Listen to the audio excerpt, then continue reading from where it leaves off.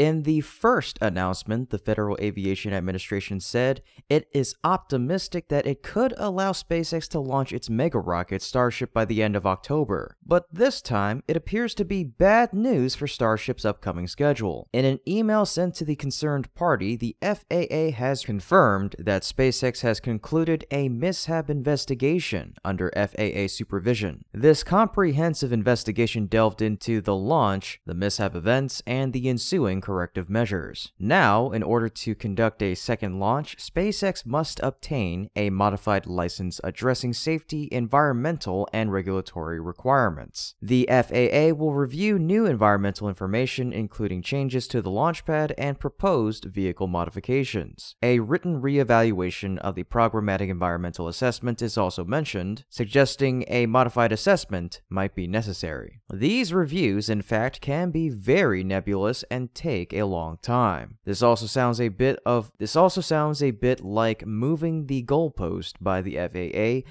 based on their earlier notice. I, along with many others, had hoped for another launch this year, but if the FAA wants another PEA, well then maybe next spring. Additionally, the email also mentions consultation with the U.S. Fish and Wildlife Service, which is new and could affect the timeline. Consequently, the FAA has not granted authorization for SpaceX's proposed Flight 2. Keep in mind that this is also the first time such an email update has been sent out. Concerns about procrastination are completely possible. But is another delay really necessary at this point? Indeed, the maiden flight faced a series of complications. Starship was airborne for approximately four minutes before entering into an unexpected, fatal tumble, necessitating a self destruct command by ground controllers. Contributing factors to the misstep include multiple Raptor engine failures and booster issues. Furthermore, the absence of a blast suppression system at the launch pad resulted in significant damage and the spread of debris in the vicinity. In the wake of the botched flight, conservation groups mounted a lawsuit against the FAA for approving the launch. Wildlife officials note that upon surveying the scene after Starship's launch, they found chunks of concrete across the area and foot deep craters on the flats. The report states that four acres of the nearby Texas State Park were burned. A group of blue land crabs and seven bobwhite quail eggs were incinerated by the launch. Overall, the explosion from the launch left a 385 acre debris field that flung concrete chunks as far as 2,680 feet from the launch pad and sparked a three and a half acre fire. There had been concerns for years about the proximity of SpaceX's rocket base to endangered species, including a loggerhead sea turtle's nesting beach. A group of environmental groups sued the FAA following SpaceX's April launch, claiming the agency failed to perform an adequate environmental review. As for the harmed species, U.S. wildlife biologists did not find any deceased endangered animal life. However, biologists note that their investigation into this matter was greatly hindered by SpaceX. Wildlife officials were not allowed into the site area until a whole 48 hours after Starship's launch. This means that any possible animal life that was killed could have been previously removed from the site, washed away by the currents, or eaten by other animals before experts could properly document the aftermath. Much of the damage was caused by a purposeful decision from SpaceX that seemingly baffled experts in the documents. SpaceX did not use flame suppression technology like a flame diverter or flame trench, a standard in the industry that redirects energy away from the rocket ship. Without it, Starship blew a hole in the ground underneath it, subsequently destroying its launch pad. Considering all these reasons, SpaceX has changed and taken considerate measures to refine its gigantic rocket ship. Additionally, these modifications were rigorously confirmed through testing. Therefore, it is entirely reasonable for the FAA to accelerate the inspection process and grant approval for Starship to resume flights. Whether accidentally or intentionally, SpaceX posted a few photos of Starship yesterday and said Starship represents a fully reusable transportation system designed to carry both crew and cargo to Earth orbit, the Moon, Mars, and beyond. The company's CEO also retweeted that post and declared Gateway to Mars. Indeed, if the Starship succeeds, it will change humanity as we know it. Starship is designed to carry passengers to the moon and Mars as part of NASA's Artemis program, and eventually it will take 100 people on a long duration interplanetary flights. On long duration interplanetary flights. In fact, Starship will be so cost effective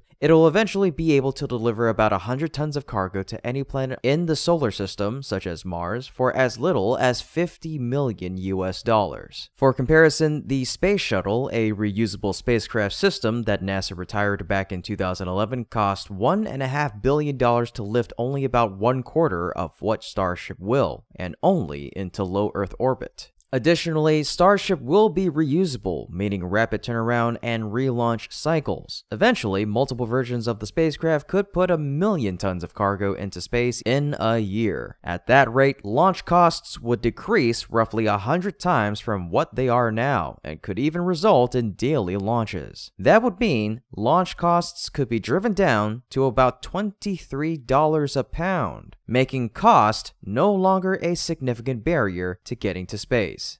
In the past, science has been limited to what can be flown into space because of launch size and weight restrictions. The massive size and power of Starship will make humans visiting the moon and Mars not only possible, but financially sustainable, even for those who aren't among the very rich. This could eventually lead to space tourism, with people paying money to visit hotels in space for the same cost as a plane ticket to Europe. Space experiments will also be so inexpensive that a high school science class could design, build, and send to space its own experiments. The ability of Starship to take heavy loads inexpensively into space will open up not just the ability to colonize other planets, it'll also create new opportunities for communications and Earth observation by taking tens of thousands of satellites into space for minimal cost. The number and types of satellites in orbit will no longer be limited by launch costs or the cargo bay of the rocket, which is often a big deterrent. For those back on Earth, it'll also mean access to services like hyper-localized weather prediction or crop health and yield affected by disease or drought before it becomes a problem. And also, video communication will be available anywhere on Earth for almost no cost. On a macro level, this could also result in better earthquake prediction, air traffic control completely done from space, and navigation aids much better than today's GPS. But all of the possibilities that I've presented to you can only be in our dreams, unless Starship can be launched soon. In other news, a Russian Soyuz spacecraft carrying two cosmonauts and one NASA astronaut arrived arrived at the International Space Station yesterday on the 15th of September, roughly three hours after lifting off.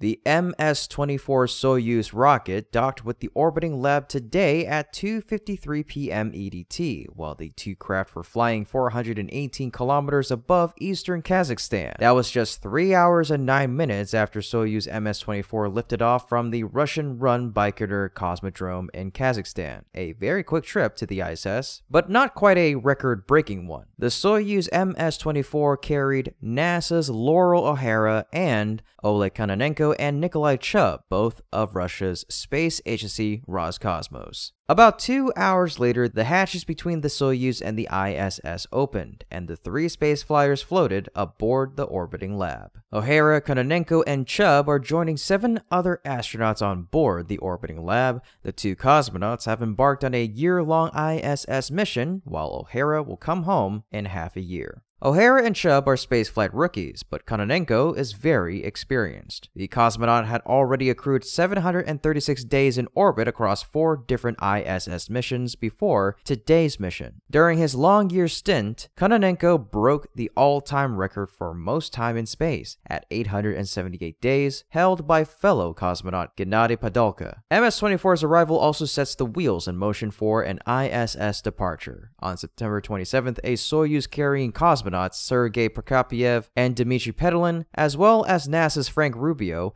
is on schedule to come back to Earth. Rubio will have spent 371 continuous days in space by that time, a record for an American astronaut. And that's it for today, folks. If you want to support our channel and get access to exclusive content, please consider becoming a patron by clicking the link in the description below. We appreciate your generosity and your passion for space exploration. As always, this is Kevin from Great SpaceX, and until next time, keep looking up.